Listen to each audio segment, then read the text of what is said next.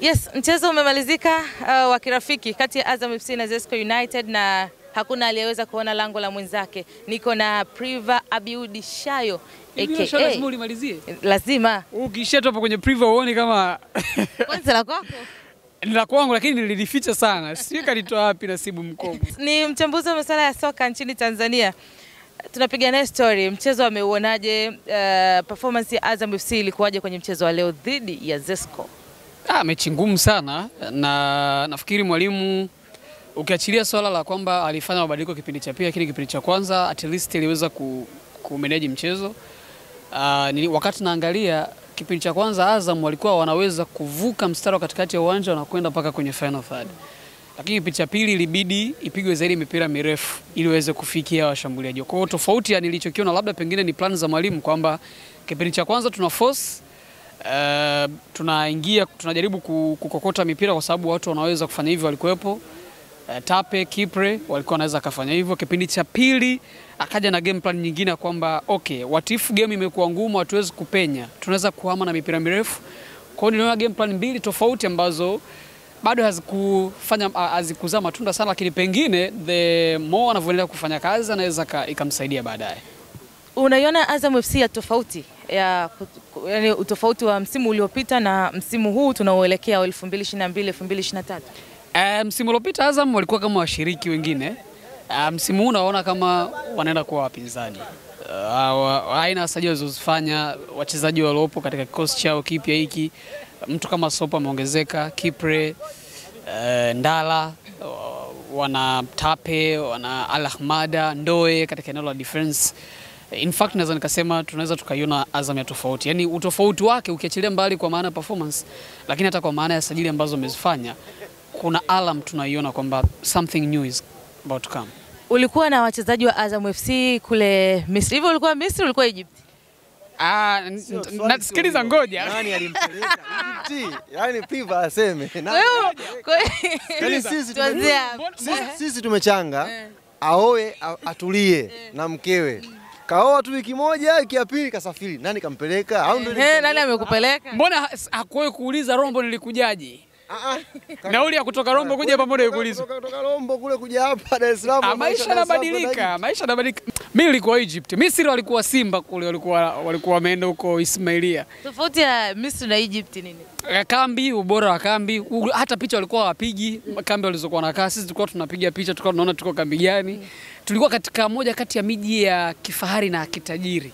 Mji wa Eljuna ni mji ambao unamilikiwa na mtu anaitwa Naguib Sawaris pamoja na ndugu yake anaitwa Samih Sawaris. Nitakuja kum, kumhadithia alikama haya mambo hayajui.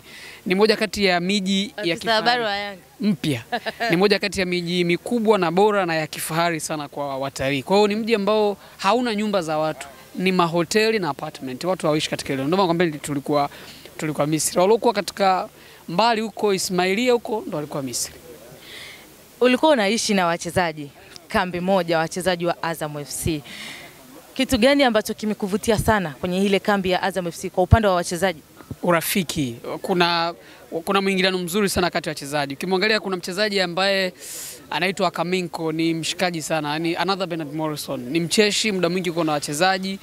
Uh, Agrey yupo karibu na vijana wadogo kama kina Twalib, amekuwa akiwa karibu nao akiwaeleza. Alafu the same ukiangalia the likes of wachezaji wengi ambao wana wanacheza sasa hivi wakina Teps, akina Sopu, uh, wakina Pasco ni vijana ambao wamekuwa pamoja, kwa hiyo kulikuwa kuna urafiki mkubwa, ingawa kulikuwa kuna kaugeni kidogo kakina Tape Kipre, lakini baada ya kuja Lahmada na kuja Malik Ndoe wakawa wanaongea lugha moja kwa maana Kifaransa. So I think mwalimu ataendelea kulifanyia kazi hilo la kwamba kuendelea kuweka umoja na kuna urafiki mkubwa sana naweza nikasema katika kambi ya Azam. I don't know ni kwa sababu alikuwa maybe pre-season, lakini nafikiri kama ndo maisha yao that's good.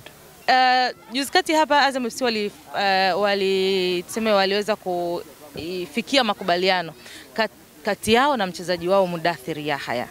Maneno mengi sana yakazungumzwa kwamba Mudathiri ya haya alikuwa akiperform vizuri kwa Azam, haukuwa wakati mwafaka wa Azam kumwacha Mudathir Yahya. Wewe kwako hili lilikuwaje? Nafikiri Azam walilifanyia uh, walitolea maelezo kwamba kulikuwa kuna mvutano wa, wa mkataba.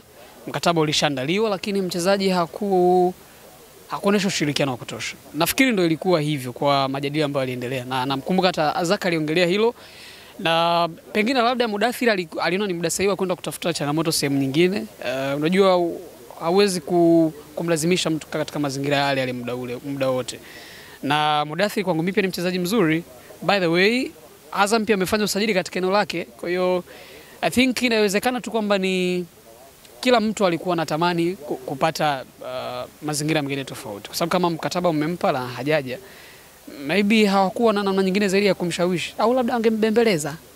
Mudathiri ni mchezaji ambaye kwa hapa Tanzania anatakiwa kusajiliwa kwa pesa labda kuanzia milioni 90 hadi mia moja. tisini mia moja. No, unajua ishu ya usajili ni convincing power, demand anayetaka kukusajili, performance yako kwa wakati huo, wakala wako.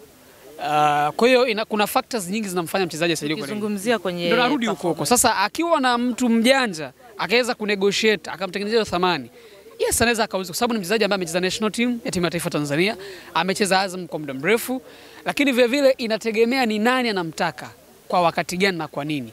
Ikitokea Yanga anamtaka alafu na yenyewe Simba akamtaka, hata milioni mia mbili inafika, lakini ikitokea hakuna anayemhitaji hata milioni 30 inaweza ikatu. Kwa hiyo inategemea wakati huo mvutano wa kibiashara ukoje. Ukiniambia mimi kwa thamani uh, namwona kirenji kuanzia milioni hamsini mpaka hapo tisini hapo katikati kwa, kwa ukubwa wake kwa, kwa timu za hapa nyumbani uh, lakini nikiangalia kwa mahitaji, kwa maana nikiangalia Simba na Yanga katika eneo lake tayari wameshaziba space. Kwa hiyo ni ngumu sana kuweza kutoa hiyo pesa kwa ajili yake, kwa sababu tayari kuna wachezaji wameshasajiliwa na ndio timu ambazo zinaweza katoa pesa hiyo.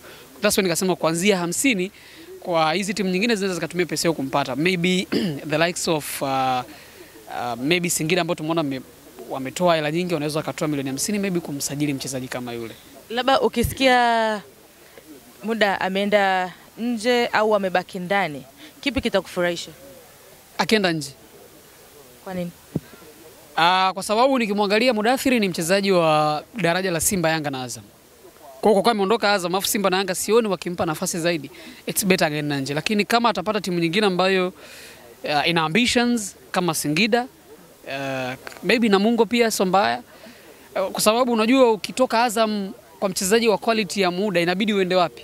Uende timu kubwa. Sasa kama haendi timu kubwa, manake inabidi aende nje sasa, kama akipata nafasi ya kwenda nje, lakini nisimdisappoint. Ikitokea amepata timu, unajua ni bora kitu kuliko kukosa kabisa. Unialike basi, utanipa na kadi ya mchango, nitachangia. Bado nipo nipo kwanza. Nashukuru.